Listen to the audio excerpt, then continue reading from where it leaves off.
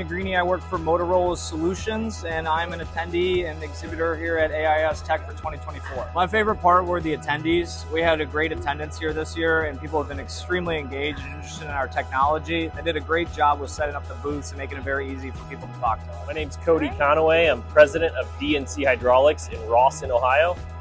And what was your favorite part of AISTech 2024? I think seeing the customers for sure and trying to solve uh, problems for them, um, just showing them things that we can do to improve their process and uh, uh, save downtime.